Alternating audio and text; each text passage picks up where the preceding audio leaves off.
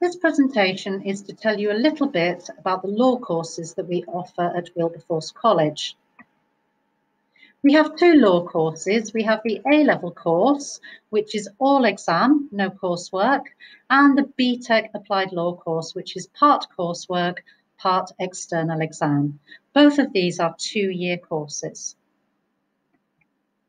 So to focus first of all on the Law A level, in year one, we will start off by looking at the legal system. So we will look at the courts within the legal system, the civil courts, the criminal courts, the people that work within those courts, such as the judges, the solicitors, the barristers, and the lay people within the justice system, magistrates and juries.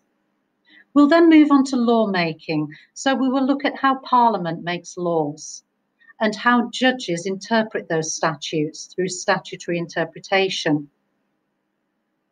One of the main parts of the first year is the study of criminal law.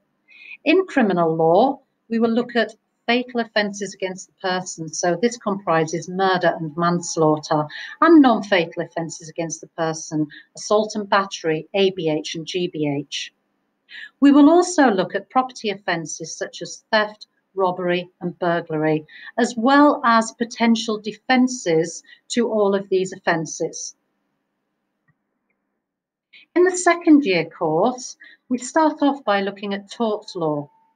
Part of this is the study of negligence. We also look at vicarious liability, nuisance and occupier's liability. After tort law, we move on to human rights law, and we will study the European Convention on Human Rights as well as the European Court of Human Rights.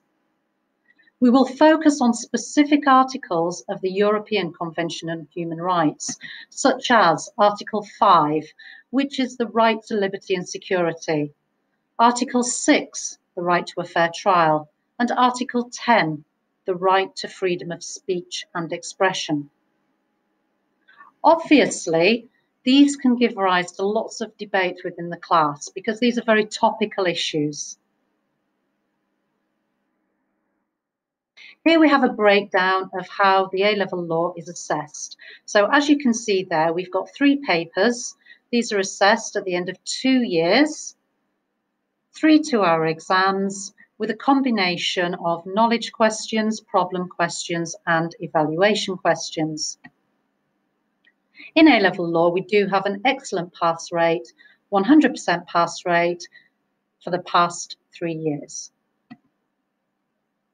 In BTEC Applied Law, the National Extended Certificate, we have a combination of examination, that's externally assessed, and internally assessed components.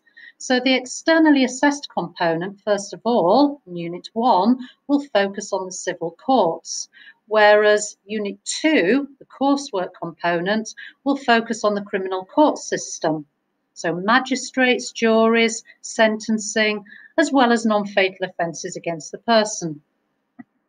In Year 2, we will look at fatal offences against the person, murder, manslaughter, and offences against property in the externally assessed unit. So you would be examined on that area of law. Whereas Unit 4 is internally assessed and this focuses on family law, so aspects of divorce, cohabitation and matters involving children. And again, here we have a breakdown of the qualification. So you've got four units to be completed in two years.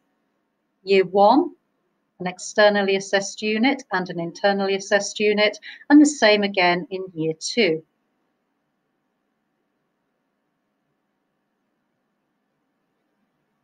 In law, we like to go on visits. Obviously, that's subject to COVID, but we will normally visit the law courts in Hull. So we'll go to the Magistrates Court and also Hull Crown Court. We have also been to the National Justice Museum in Nottingham, where the students took on the part of barristers and took part in a mock trial. Last year, we visited the Hull University Sixth Form Law Conference, where our first year students won prizes for their magnificent contributions to plea and mitigation activities and client interviewing activities. If you are interested in a career in law, then why not get involved in the Wilberforce College Debating Society?